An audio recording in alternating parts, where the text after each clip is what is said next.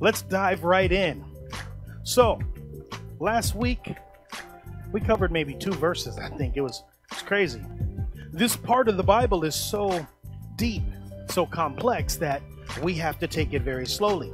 Have you guys ever noticed that if you read something too quickly, you will often misunderstand what's being said? Like if your eyes go over it too fast, you'll think it says one thing when it actually says something else.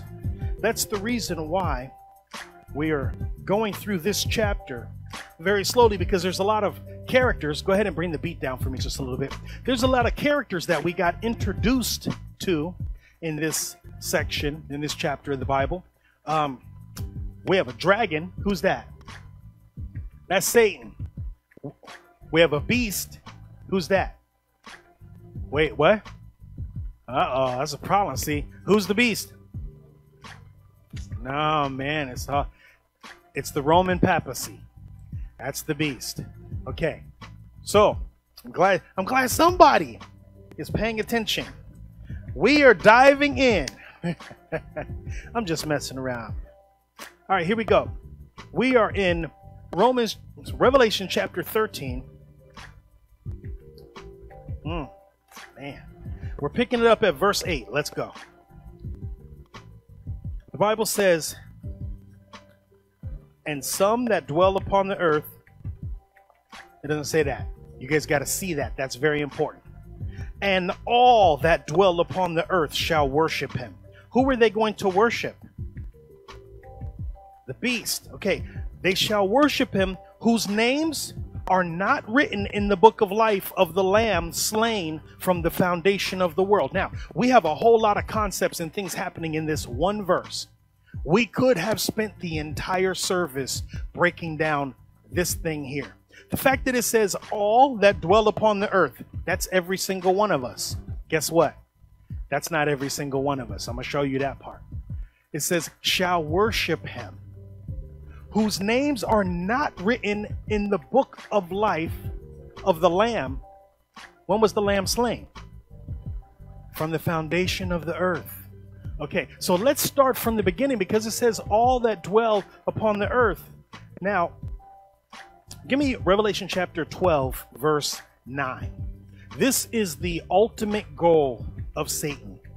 This is all he really comes to do. He's going to deceive. Revelation chapter 12, verse 9. And the great dragon was cast out, that old serpent called the devil and Satan, which deceiveth how many? Which deceiveth the whole world. He was cast out into the earth, and his angels were cast out with him. So, right here, the Bible is telling you he deceives how many? Man, the whole world. Guess what? It's the whole world minus one group of people. Okay, let me show you. Give me Matthew chapter 24, verse 24. Matthew 24, 24 is going to start letting you in on a secret. There's a group of people that the Bible says they're not going to be deceived. Now take a look. It says, For there shall arise false Christ. What's that? That's an antichrist, isn't it? Okay, so there shall arise rise false Christs and false prophets and shall shew great signs and wonders in so much that if it were possible, is it possible? It's not possible, but if it was possible, they shall deceive the very elect. Can the elect be deceived? It is not possible for the elect to be deceived. Okay, well, um, watch this. Give me Isaiah chapter 45, verse 4, because did you know that you can't choose to be one of the elect? That's the whole thing. Elect means somebody chose you. You don't get to choose to be an elect. Somebody chose you. It's it's not fair, but that's the way that it is. Watch this. I, Isaiah chapter 45 verse 4 says, "For Jacob, my servant's sake, and Israel, who's Israel? Mine elect. Who are the elect? Clearly, I did not make that up. That's what the Bible says. Israel is his elect. It says, I have even called thee by thy name. I have surnamed thee, though thou hast not known me. Okay, so let's just track back through these precepts real quick. Uh, the dragon deceives who? The whole world. You know what? Everybody got to point to themselves and be like, I am deceived. If the scripture says he deceives the whole world, then that means that you're deceived. At some point in all of our lives, we have been deceived. We may be being deceived now, or we are going to be deceived. That's not such a terrible thing. That just means you believe some stuff that you can't prove. That's all it means. Now, when you find some deception in your life, you got to cut it out. If you let it grow, then the seed of the serpent is growing in your life. See, but once you cut that out, more truth begins to grow in your life. Okay, so it says he deceives the whole world, and then Jesus said if it was possible, he would deceive the very elect. So that lets us know that it's not possible to deceive the elect. And then we read here and it told us who the elect is. Who's the elect? Israel is the elect. Okay, so some of us, it is impossible to deceive. You know why? The Most High has selected us that we would not be deceived. It was Him that elected us to say, hey, you're going to see a whole bunch of lies, but you're going to have eyes to see right through them. Give me Romans chapter 11, verse 4. We're going to find out now how it is that He selected, because it's not even all Israel, it's some of Israel whose names are written in the Lamb's book of life. Romans chapter 11, verse 4, the Bible says, but what saith the answer of God unto him? I have reserved to myself 7,000 men who have not bowed the knee to the image of Baal. Who's Baal? Baal is Satan. What are they bowing their knee to? The image. They're bowing their knee to the image. Okay, he says, I have 7,000 men that have not bowed their knee to the image. Okay, we read a scripture in Revelation that says he's going to cause everybody to worship. Right? Okay, give me the next verse, verse 5. He says, Even so, at this present time also, there is a remnant according to the election of grace. That means there is a group of people that I have chosen, I have elected them, I have given them grace so that they will not be deceived. Jump in this same chapter to verse 7. What then? Israel hath not obtained that which he seeketh for, but the election hath obtained it? Because it's telling you, Israel is mine elect. Okay, but he said he has 7,000 men. Isn't that weird? Because 7,000 men isn't all of Israel, is it? So all of Israel has not obtained what they were looking for, but the election hath obtained it. And what happened to the rest of everybody else? They were blinded. So even you're going to even come in contact with some Israel, and they're going to be like, "Yeah, I, I'm gonna go ahead and get it. I'm gonna get the snake bite. I'm gonna go ahead and get the jab. I'm gonna go ahead and fall for the mark of the beast, whatever that may be. We're gonna find out. We're not getting all the way down to the mark tonight. So in our next week's service, when we finish 13, you will clearly see all of the things that comprise what the mark of the beast is. It's not just one thing, neither is it located in just one place. Right? Where's it go? In my head or in my hand? Okay, so it's it's multiple things. Over the years, people have been surmising about what this thing has been, and they came up with all kinds of ideas, and they were all wrong. You know why? Because all of them excluded what everybody else said. But if you took all of them and said, yeah, it's that, and it's that too, and it's that too, and it's that too, then you would figure out what it was. All right, so here we go. Give me verse 8, same chapter. Let's find out a little bit more about the election. It says, According as it is written, God hath given them the spirit of slumber, eyes that they should not see, and ears that they should not hear. For how long? Unto this day. So even within Israel, okay, now we know, we read that Israel is God's elect. We also know that Israel is God's chosen. But that doesn't mean all Israel. That means he has selected a specific group within Israel that will not be deceived. Does that make sense? All right. Take me back. I want to see something else about that Revelation scripture. So now we know it says, and all that dwell upon the earth shall worship him. Okay, there's a comma right there, and you're like, everybody? Well, almost everybody. Okay? Whose names are not written in the book of life You guys heard about this book of life before, right? So watch this. I'm not going to ask you what is the book of life. I'm going to ask you who is the book of life. The book of life is also the tree of life. Did you know that? Because what is a book made of? What is this material? This is a tree right here. This ain't nothing but wood. This is a tree. So when you're taking from the tree of life, you're also reading from the book of life. Now, it's one thing that you get the word out of the book of life. It's a whole other thing to have your name written in there. That's what you're striving for. Man, I hope my name is written in there.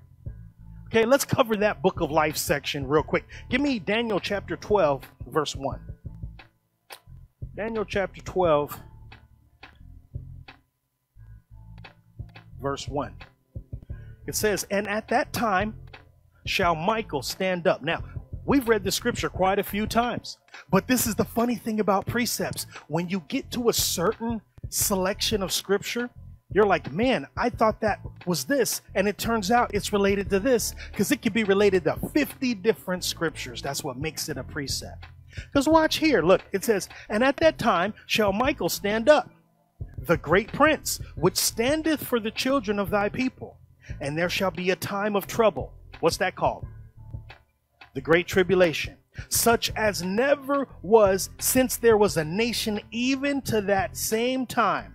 And at that time, what happens? Thy people shall be delivered. Everybody? Nah. Everyone that shall be found written in the book. Wow, it talked about the book of life. Who's the book of life again? Jesus is. Okay, so when you're reading Daniel chapter 12 and you get to that line, all of a sudden a light bulb should go off in your head and you're like, man, he was talking about Jesus. I need to go back and read this whole book because Daniel's whole book was talking about Jesus. As a matter of fact, every word that every prophet ever spoke was all talking about Jesus. How's that possible? What does it say on there? The testimony of Jesus is what? spirit of prophecy. So if you want to learn more about Jesus than the average person knows, see, there's like, there's us that believe in the whole volume of the book, and then there's those that only believe in the 27 books, just the New Testament. They don't know that much about Jesus because they haven't read that much about Jesus. But if you're like, man, I really want to know more about Jesus, well, you're going to have to get into Daniel and Nahum and Obadiah and all of the prophets because every word that they spoke was pointing to Jesus. All right, let's take a look at the very first mention of this book. Give me Exodus chapter 32, verse 32. Because you guys have to remember when Moses went up, he saw into heaven. 32 32. Exodus chapter 32, verse 32. He saw how the tabernacle was shaped. He saw the lampstand. He saw all of those things. Guess what else he saw? He saw Jesus. He saw the book. So this selection right here that we're about to read is not going to be so strange when you realize that God was revealing to Moses his prophecies. Okay, now the children of Israel are getting on God's nerves, they're getting on Moses' nerves. And this is what Moses says it says, Yet now, if thou wilt forgive their sin, see that emoji right there? See that emoji? That's an emoji in there. Yeah. We like literally had to look that up and figure out what is that? That's an emoji. What is it? It's a hammer. That's what Simon says. It's a hammer. Yeah, you said it's a hammer pointing up. And if not, blot me, I pray thee, out of thy book which thou hast written. Let me see, what do we got? Genesis, and then comes Exodus in the second book of the Bible. Moses, who was also a prophet, already knew that God had a book written and that he would blot people's names out of it. Now, let's see what God's answer is because he's like, man, Lord, I want you to forgive all of my people. And if you're not willing to forgive them, then just blot me out of the book. What does that mean? Can you be blotting out? Can, can your name be blotted out of the book if it's not already written in there? It has to be written in there first, right? And he's like, erase that. I was tripping. I don't know. Okay, so watch this. Give me verse 33. Let's see what God says. And the Lord said unto Moses, Whosoever hath sinned against me, him will I blot out of my book. Whosoever what? Sins. What is a sin? A transgression of the law. Oh, okay. So now we can clearly say that God is saying, whoever breaks my law gets blotted out of the book. All right. Huh. Give me Deuteronomy 29, verse 20. So when Moses was seeing all of these things in heaven, he saw the book. As a matter of fact, the book itself is talked about all over the Bible. Deuteronomy chapter 29, verse 20. Hmm. Is that the one? It says, The Lord will not spare him but then the anger of the Lord and his jealousy shall smoke against that man, and all the curses that are written in this book shall lie upon him, and the Lord shall blot out his name from under heaven. So when you commit sins, God says, Man, you blew your chance. You blew your chance. Your name was written in there. I'm just going to. Now, to erase, that means to rub out, right? What is blot? What do you do when you blot something? You dab it. You dab it, right? You're dabbing it, okay? It's interesting because he's putting the blood over it. Yeah, he's dabbing it with blood.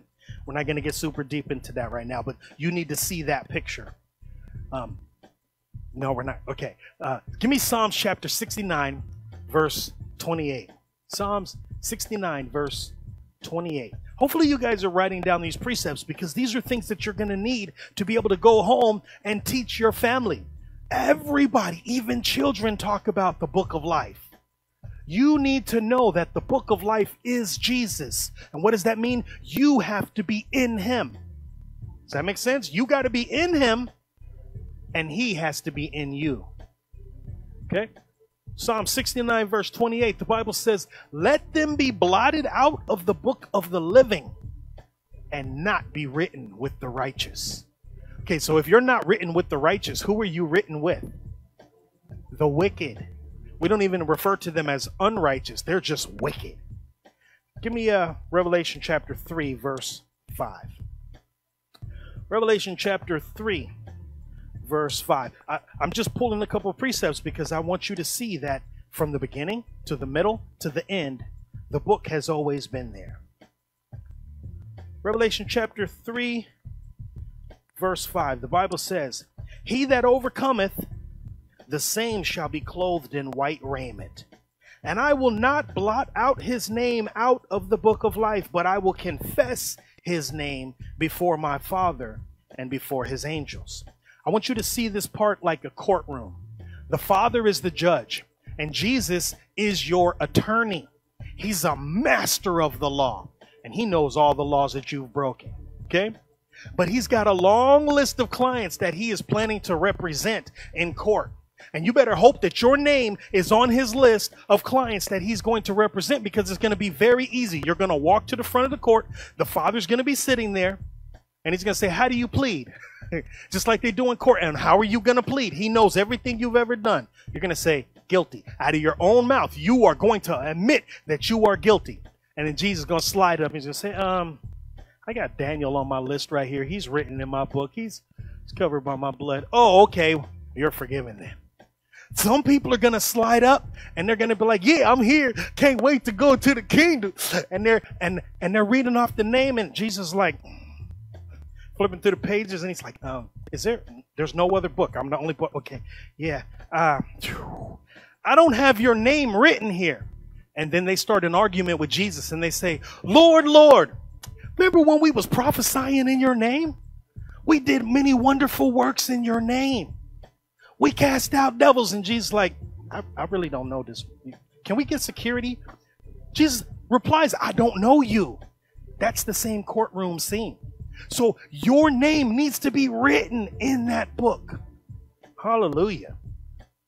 Give me Revelation chapter 20. And let's take a look at verse 12.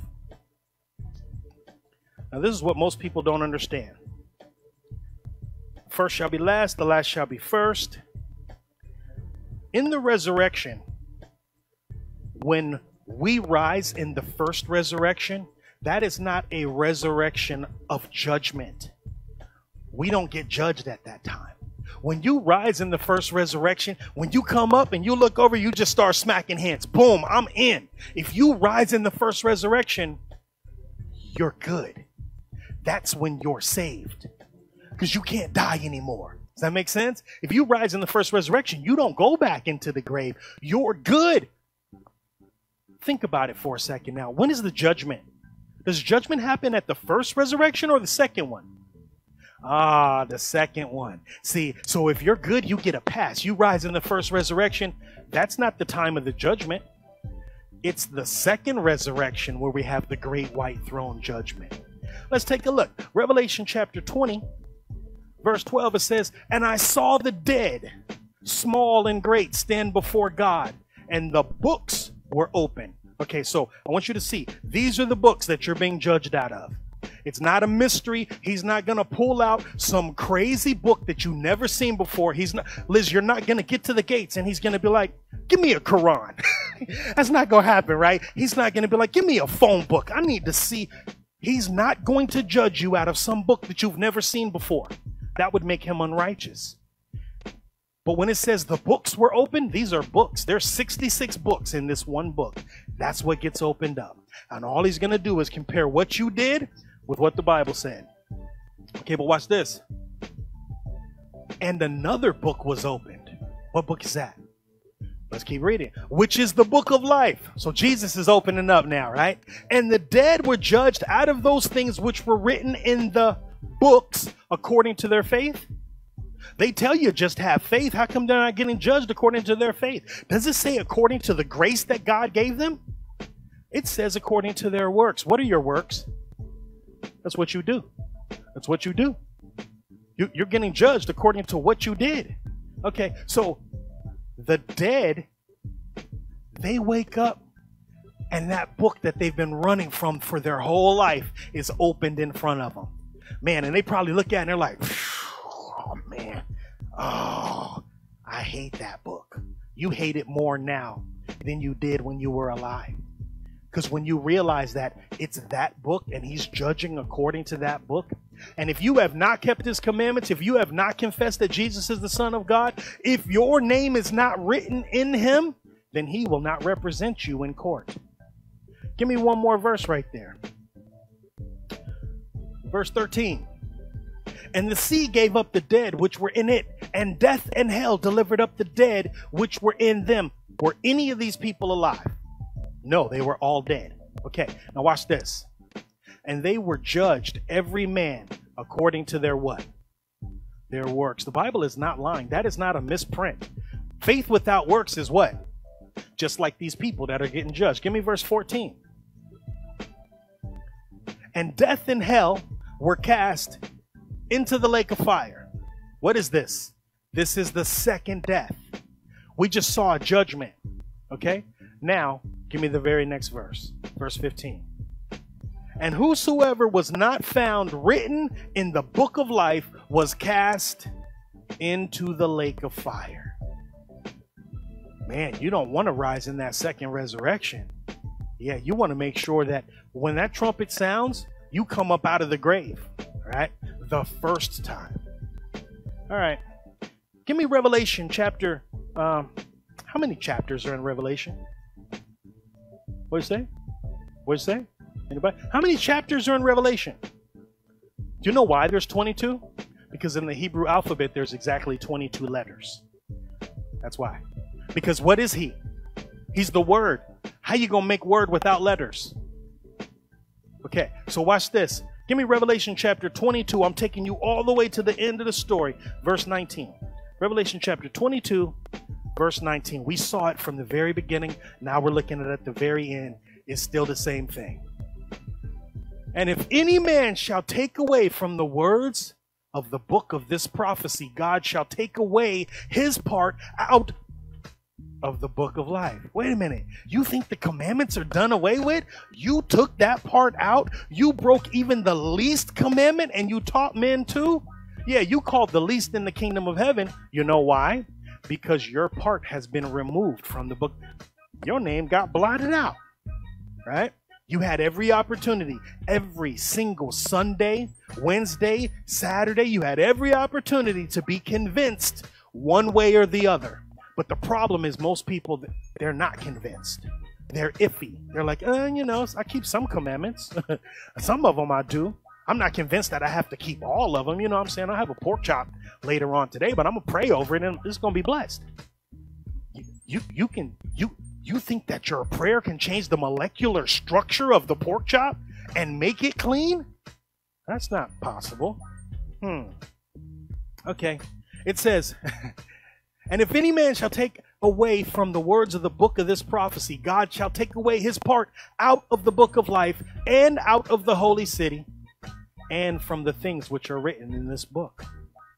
Take me back to uh, Revelation. So now we've covered we're thoroughly covering that verse. And all, we see now that it's all except for the elect, that dwell upon the earth shall worship him, whose names are not written in the book of life of the Lamb. So it's the Lamb's book of life, isn't that right? Slain from the foundation of the world. Now, that, that's curious right there. Um, who's the Lamb?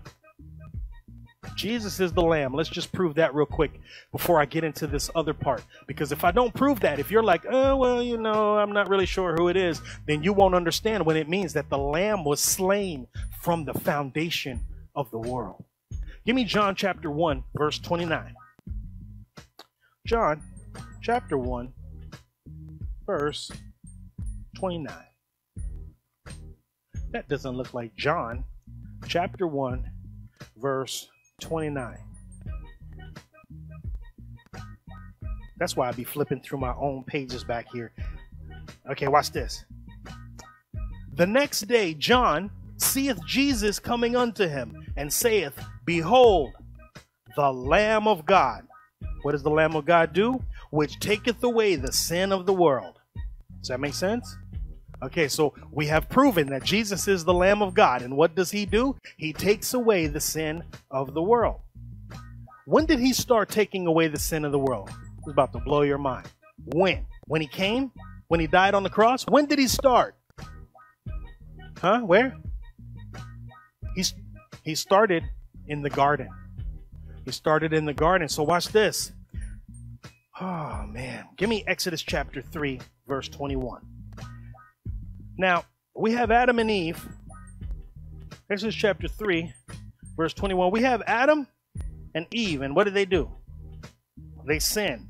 What does that mean? That means they broke the commandments. Give me one second. No, I want Genesis chapter 3. Huh? Oh yeah, yeah. Give me give me Genesis chapter 3. I have multiple things happening in my mind. Genesis chapter 3, verse 21. They sinned, and sin has to be paid for with what? Blood. God didn't just start that when Jesus came. He didn't just start that in the Exodus. He started that from the foundation of the world. Now, let's take a look. It says, And unto says, unto, unto Adam also and to his wife did the Lord God make coats of skins and clothe them. This is after they found out that they were naked. Where do you think he got those coats of skins from? They're from an animal. What kind of animal? A lamb. See, he had to kill a lamb in the garden to provide a covering for Adam and Eve. So the lamb was slain from the foundation of the world. He's always been there to make an atonement for our sins. Give me one more verse. Let me see verse 22. I want you to see what changed in Adam and Eve. It says, And the Lord God said, Behold, the man is become as one of us. What does that mean?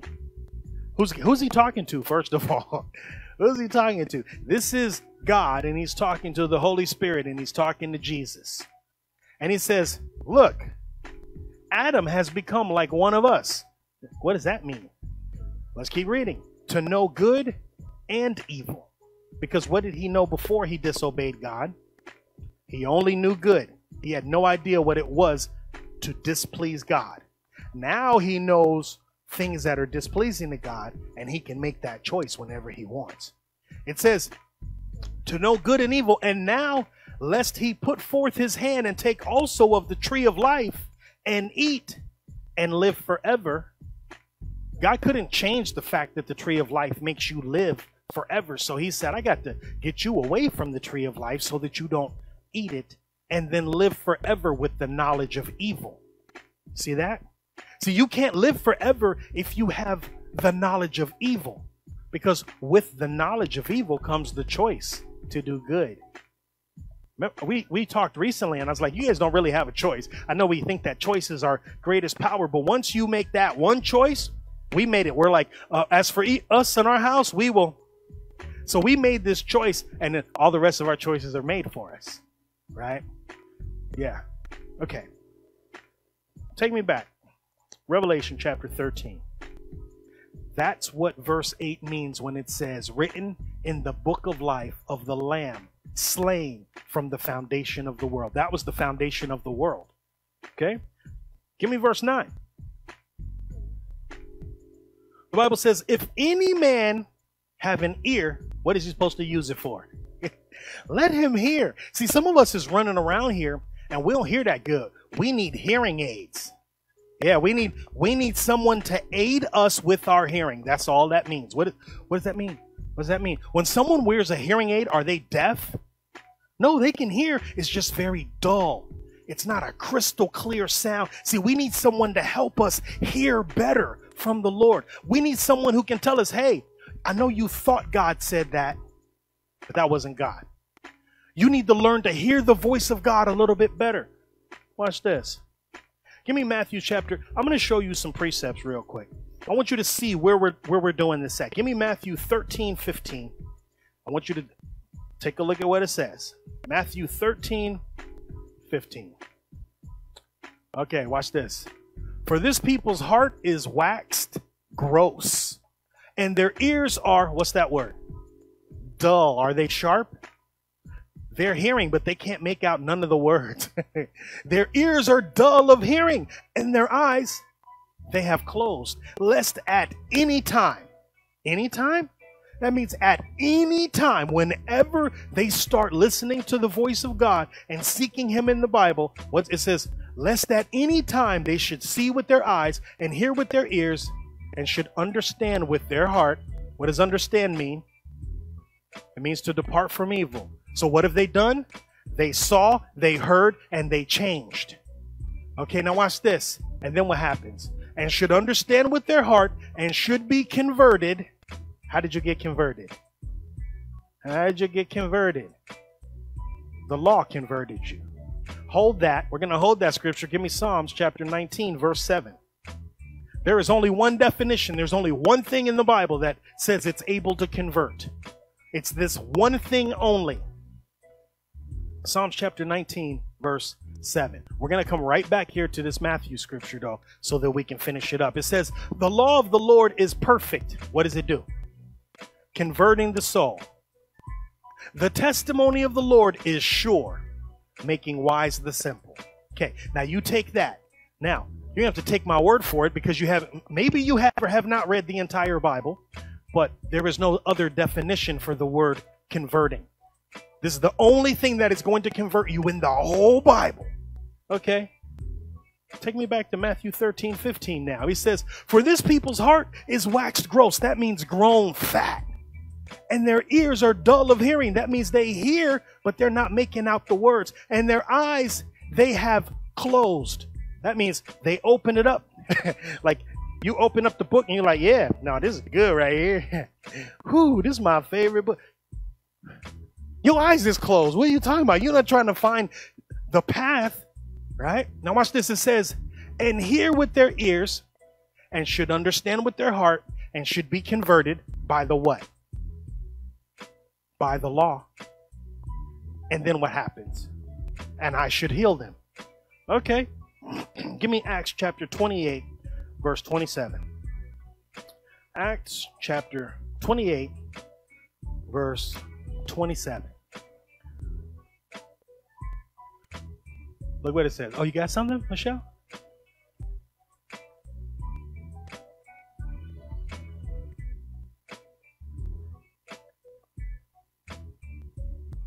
That's a very good question. She said, if someone is saved and they choose to not continue practicing, are they going to go to hell? So, in order to answer your question, I have to answer you. I have to ask you a question back. How did they get saved? Jesus said, "He that shall endure to the end, the same shall be saved." So, your question is saying, if they got saved, but then they didn't endure to the end, are they going to hell? What's the answer? Absolutely. If he explains that the prerequisite for going to the kingdom is endurance, and you like, yeah, okay, I know Jesus, I got introduced, we're in a relationship now, but then you start cheating on him halfway through, and you don't stay with him all the way to the very end, you're not going to be the bride when he comes back. Does that make sense? Okay. Now, it's not so much that they're going to hell, they're going into the lake of fire. Hell in Hebrew is the word Sheol. It means a pit in the ground. So they're going to die and they're going to go into the earth. But later, that pit is going to be thrown into the lake of fire. And that's when the lake of fire becomes hell. All right, let's take a look here. Acts chapter 28, verse 27. This is going to sound familiar. It says, For the heart of this people is waxed gross, and their ears are dull of hearing, and their eyes have they closed, lest they should see with their eyes and hear with their ears and understand with their heart and should be converted, and I should heal them. That is almost word for word. Almost word for word. You know why we say stuff over and over to our children's? Because we mean that. I meant that. I really need you to start looking at what I'm saying, hearing what I'm saying, depart from evil, understand the law, statutes, and commandments of God so that you can be converted. Then I'll heal you. oh, you think you're just going to stroll in here and get healing without doing anything that God wants you to do? That don't happen. We clearly see because we come in here all the time. That doesn't happen. All right, take me back. We got all of that off one verse. If any man have an ear, let him hear. I'm really praying. I pray for you guys all the time, and I pray that you have an ear to hear. I don't pray for any specific thing to happen. I pray for the Lord's will to be done and for you to have eyes to see it. Because when you don't have eyes to see what God is doing, you will try to go against it and you make your life more difficult. Your arms are not long enough to box with God. Right? So I pray, Lord, okay, I'm praying for Liz. I pray that your will be done in her life and that she has eyes to see it and ears to hear what you're telling her. That's it. Pray for all of y'all all the time. It's pretty easy. I want you to pray for me the same thing. Revelation chapter 13, verse 10. Here we go. He that leadeth into captivity shall go into captivity. That's funny. That don't have nothing to do with the beast. This is weird. This must be a precept. Watch.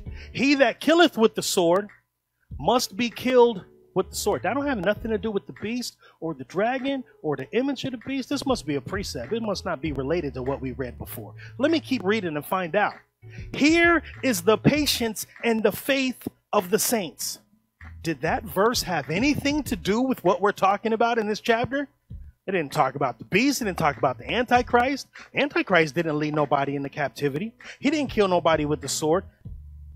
This is how you know you have a precept. When you find something and it's an anomaly and you're like, man, that don't really go with what I'm reading. It feels like I changed the page. Now you got to search it out. Now you got to figure out what is he talking about. He that leadeth into captivity shall go into captivity. What's that called? You did something to me and then the same thing happened to you? That's payback. That's payback. You killed somebody with a sword and then you got killed with a sword. What is that called? Payback. When does payback start coming? See, we have this thing now called grace, and all grace does is prevent payback. Grace is unmerited favor. It gives you the opportunity to repent before you get paid back. Because you did it. You're guilty. You're worthy of whatever happens to you. But you got grace right now. But when Jesus comes back, there ain't no more grace.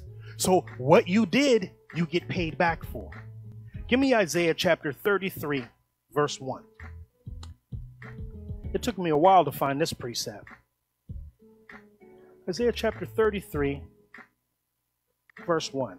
the Bible says, Woe to thee that spoilest, and thou wast not spoiled, and dealest treacherously, and they dealt not treacherously with thee.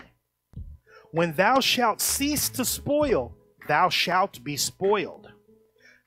And when thou shalt make an end to deal treacherously, they shall deal treacherously with thee. That means payback is coming right? I don't don't think that it's always going to continue the way that it is now. When people talk about you behind your back when they they they cheat you out of your position they're dogging you out and doing all of that stuff we just read a scripture that said he that leadeth into captivity shall go into captivity. Their payback is coming but it's not coming from you. Think about that. It's not you don't get to do it. You get to see it but you don't get to do it. Watch this. Give me Second Thessalonians chapter 1, verse 6. Second Thessalonians chapter 1, verse 6. God is all about payback. But he's also all about mercy and grace. And you're like, wait a minute, how's that possible? You're about getting even? Of course. What does a judge love? Just balances. He loves it to be balanced out. Okay, but he's a righteous judge, but he's also full of mercy. But there is a time when his mercy ends, and then it's payback time. The Bible says, seeing it is a righteous thing with God to recompense tribulation to them that trouble you. Everybody that's troubled you, they're going to get paid back by God. And he says, that's righteous. Why is it righteous? Because I'm setting things in the proper balance. If your whole life You've been killing people with the sword. Guess how you're going to die? Real quick, right? Okay. Take me back to the revelation. I want you guys to see something. This is how you know it's a precept. You're like, man, that doesn't that doesn't have nothing to do with what we're talking about. Look at this last sentence. It says, Here is the patience and the faith of the saints. Patience, that means this is what you're waiting for. What are you waiting for? For God to pay back everybody who ever did you wrong. All those times when you just had to turn the other cheek and just let it go, you are patiently waiting for God to pay those people back. He's definitely going to do it. We just read the scripture says it's a righteous thing for him to do that. Here is the patience and the faith of the saints. Give me Revelation chapter 14 verse 12. Here, patience, saints. This is how you know it's a precept. Revelation 14 12, what does it say? Here is the patience of the saints.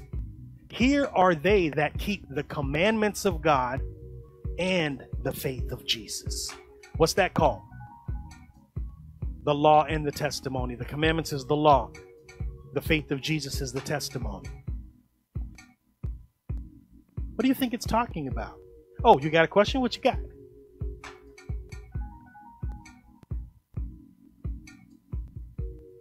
Mm-hmm.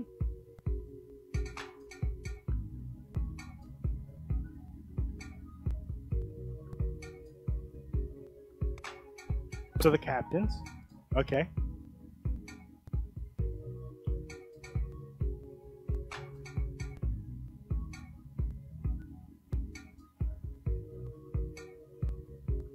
That's a good question.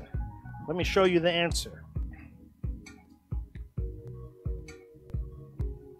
She asked, What about if you go to war and your captain tells you to do something, but it's not what God is telling you to do?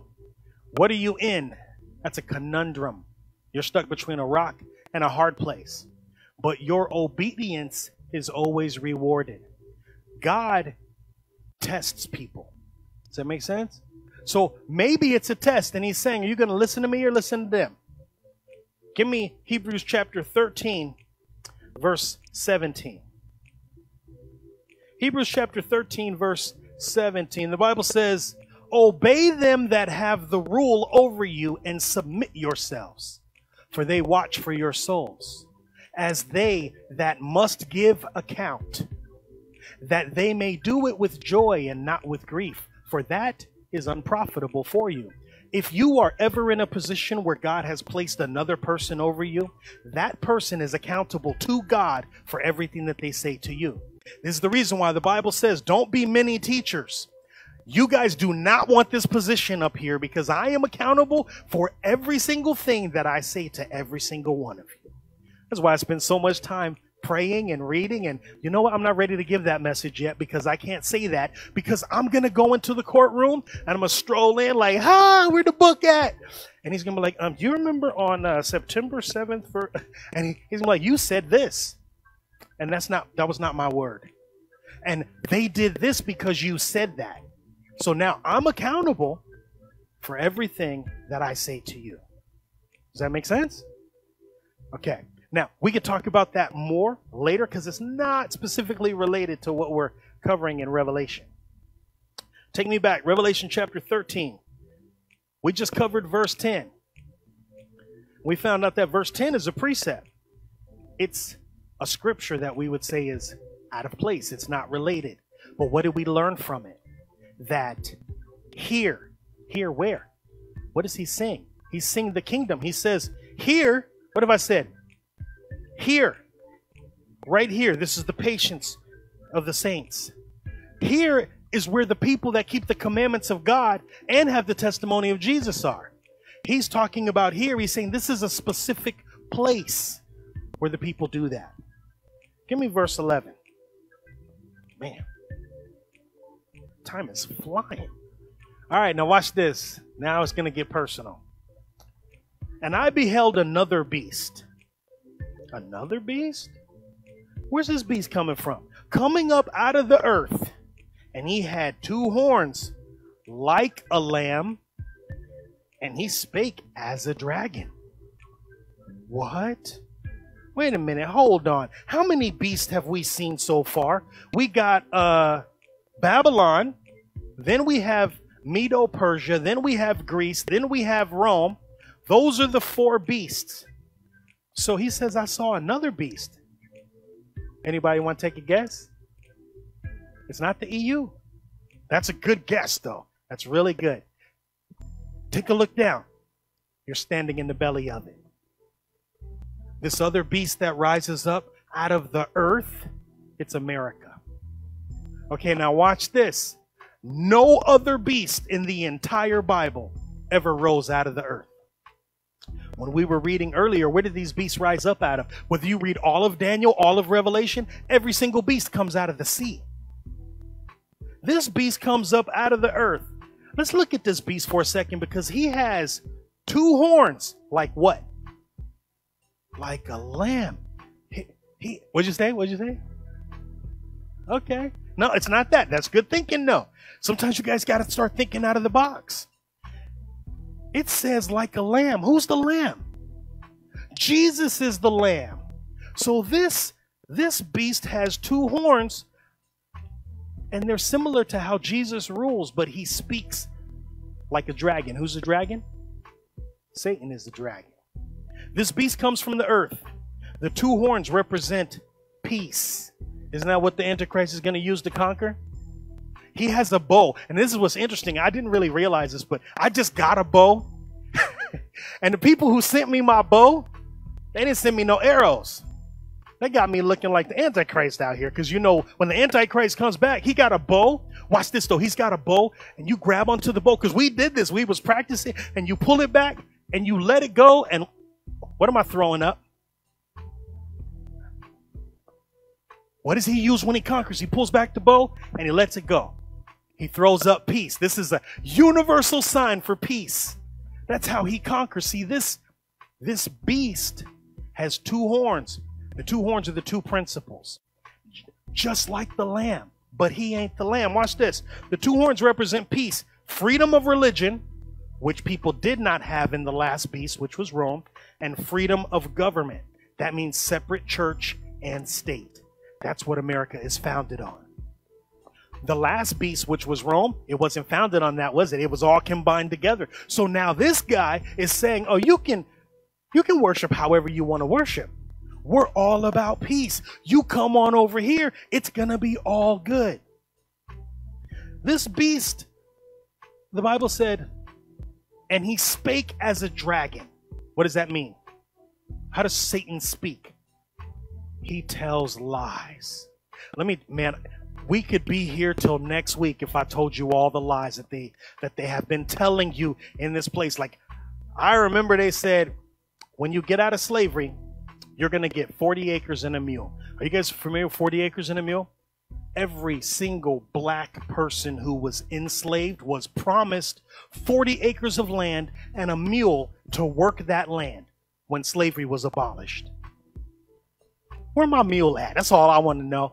It's supposed to be passed down like right okay you guys know about slavery like we literally built this country it was built on the back of slaves and what did they get they got so-called freedom they got the ability to vote i'm not voting for you it's been lies every single thing is lies um anybody in here have a social security card does it make you socially secure you ever thought about what that number was how about a birth certificate? Because I know you think that the birth certificate certifies the fact that you were born. That's not what it's for. It's a receipt.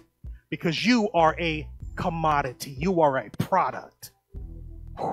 Right? They've been lying since before you were born. When they came over here, the Israelites were already here. They was already wearing fringes. And they said, hey, uh, we found them. okay, go back on the ship and get those blankets. You know the ones that are covered in in uh, chicken pox and smallpox and all those diseases that we brought from Europe. And they said, "Hey, let's make peace with the Indians." And they gave them those blankets.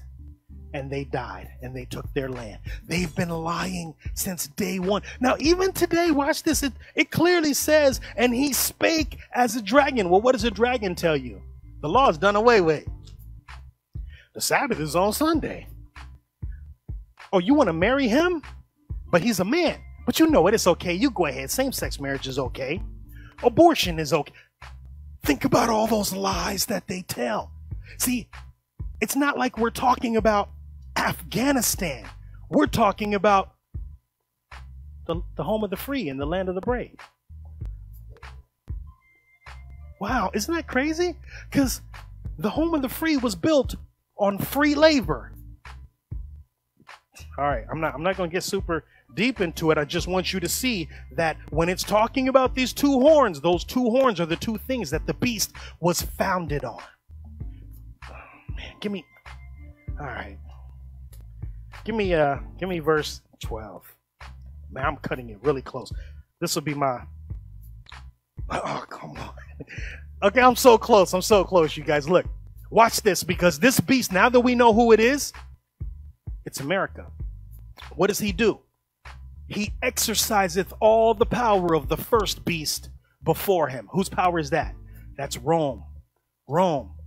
Okay, so now America starts to be an image of the beast that was before it. Where you guys think democracy came from? We don't believe in democracy, so I'm not going to get political, but they say there's a, a right and a left, right? The right wing and the left wing. Okay, those are both connected to the same body. I don't care how you look at it. If you're a Republican or you're a Democrat, you're the right or the left, you connected to the same body. We don't believe in democracy. We believe in the Most High God. He didn't say everybody vote, and if enough of you vote, I'll change my laws. But isn't that what they say here? If enough of you vote against it, we'll change the law. Watch this. It says, And he exerciseth all the power of the first beast before him, and causeth the earth and them which dwell thereon to worship the beast. America causes everyone in the world to worship the beast that came before it. What beast is that? That's Rome. What is the largest religion in the whole world? Roman Catholicism, whose deadly wound was healed. And you guys remember that? The Pope, they ran up in there and they said, oh, We got to take you out. Boom. And then he died. But then they came back. Okay, before I get too crazy, watch this. In this same chapter, go to verse 2. You guys with me? You good? I don't see nobody yawning tonight. We're getting really deep in here. Okay, so I'm going to go just a little bit more because you need to see this. Give me Revelation chapter 13, verse 2. Let's find out where the first beast got its power from. And the beast which I saw was like unto a leopard, and his feet were as the feet of a bear, and his mouth as the mouth of a lion. And the dragon gave him his power and his seat and great authority. Now, we actually looked at the seat a couple weeks ago, didn't we? We can clearly see if you sit there, the dragon definitely got you sitting in that seat. Okay? Watch this. It talked about the, the wound, the head that was wounded, and then it was healed. Um, let me give you guys some dates real quick. The beast was wounded. It's Rome. It happened in 1798. The other beast is America. America was founded July 4th, 1776. 1776. So it was already in its infant stages when the first pope was cast out and put in exile. The beast was already born. It was already growing when the head was wounded and they thought it's just gone. They're like, it don't matter if it's gone because the other beast is already growing. Does that make sense? I'm trying not to get too super deep right now. Take me back to Revelation 13 13. And he, that's the second beast, doeth great wonders, so that he maketh fire come down from heaven on the earth in the sight of men. Okay, let's talk in the physical now. I'm, I'm, I'm, I'm explaining these things, but I'm doing it both in the spiritual, the mental, and the physical. How did they physically make fire come down from heaven? They got some launch codes, and they said, See Japan over there? And what happened? Hiroshima. How is that? Nagasaki. Okay, now watch this. They make fire come down from heaven in the sight of men. Wow, that is the greatest power that you can possibly imagine. It's so great that it's exactly what God says his two witnesses will be able to do. What are the two witnesses able to do? They're able to make fire come down from heaven whenever they want. And they can smite the earth with curses and they can turn the water to blood. Give me Genesis chapter 19, verse 24. So, because there is a fake Christ coming, there also has to be fake prophets coming. And they have to do the same thing that the real prophets are able to do. Look at this Genesis 19 4. But before they lay down, the men of the city, even the men of Sodom, compassed the house round, both old and young, all the people from every quarter. Give me the next verse. No, no, it's I want 924. I'm sorry, 1924. Give me Give me Exodus 9. Okay. Give me Genesis. I'm going too fast because give me Genesis 19, verse 24. Now we have it.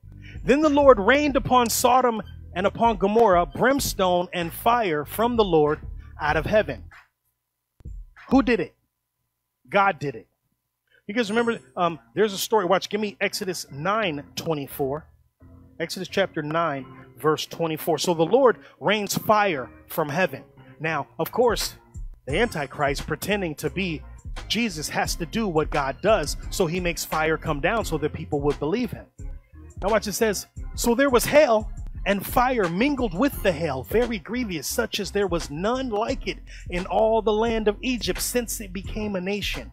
It had never rained fire. Okay? Give me 2 Kings chapter 1, verse 10. This is the story of Elijah and the 450 false prophets. They say, cut up a bull and you put it on your altar. I'm going to take a bull and I'm going to put it on my altar. Now, watch how this is related. It says, And Elijah answered and said to the captain of 50, uh, no, this is a different story. I'm sorry. Different story. If I be a man of God, then let fire come down from heaven and consume thee and thy 50. And there came down fire from heaven and consumed him and his 50. So we see the men of God are able to make fire come down. We don't have time to get into that other story, but I want you to see it's the fire that comes down from heaven that Satan has never been able to do. That now that he's able to do it, he uses that to deceive the men on the earth. Take me back to Revelation. I'm going to close it up. Okay. He doeth, uh, and he doth, he doeth great wonders so that he maketh fire come down from heaven on the earth in the sight of man. We're going to read verse 14, but I don't have the time to break it down. So we will pick it up at verse 14 next week. And deceiveth them that dwell on the earth by the means of those miracles which he had power to do in the sight of the beast, saying to them that dwell on the earth that they should make an image to the beast, which had the wound by a sword and did live.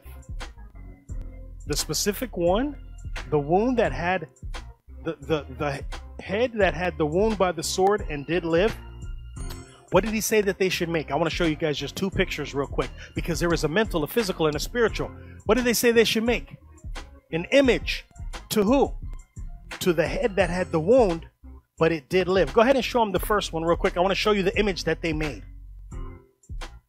Who's that? Don't nobody say Jesus. That man's name is Cesare Borgia. Guess who he is? In 1490, Pope Alexander sixth, whose real name is Rodrigo Borgia, had his own son, Cesare Borgia, a murderer who had an incestuous relationship with his own sister and who murdered his own brother, pose as the model for all popular images of Jesus Christ. You guys see how that works, right? Because what does he say that he is? He says he's the father, he's the pope. So, of course, his son would need to be the image that everybody becomes familiar with. Give me one more picture, real quick. Man, this is actually Cesare, and this is the false image of Jesus. He modeled for that picture. All historical pictures of Jesus are actually a man named Cesare Borgia, who was the son of the Pope. What does that make him? If you believe that the Pope is the Father, then this is clearly the Son, and they made an image. Now, take me back to Revelation really quick. I want you to see verse 14 again. I don't have time to break it down. I just want you to see how the beast made everybody worship the image. It says, And deceiveth them that dwell on the earth by the means of those miracles which he had power to do in the sight of the beast saying to them that dwell on the earth that they should make an image to the beast, which had the wound by a sword and did live. Amen. All right. As you can see, next week, next Sunday evening, we are going to get super deep. I got to break down verse 14, and there's only 18 verses in here before we get to the mark of the beast. So it's going to be extremely deep. I suggest that you read it at home and meet us here next Sunday at 6 p.m. This is the message that I have